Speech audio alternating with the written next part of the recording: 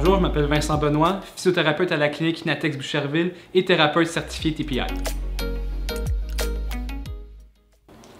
Dans ma dernière capsule vidéo, euh, on a vu comment dissocier le bas du corps par rapport au haut du corps.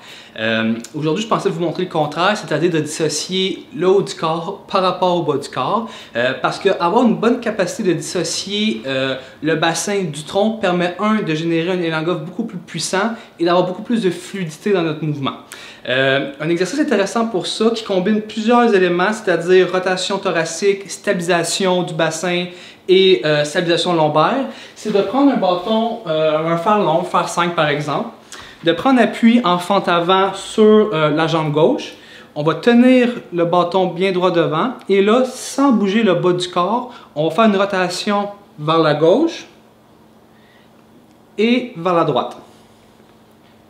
On va répéter l'exercice une dizaine de répétitions pour euh, chaque jambe. Qu'est-ce qui est fait avec cet exercice-là? C'est un excellent exercice pour s'échauffer avant notre partie.